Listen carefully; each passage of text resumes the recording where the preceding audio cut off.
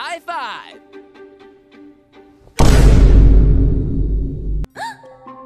Willow, you're okay? Uh-oh. Somebody's in love.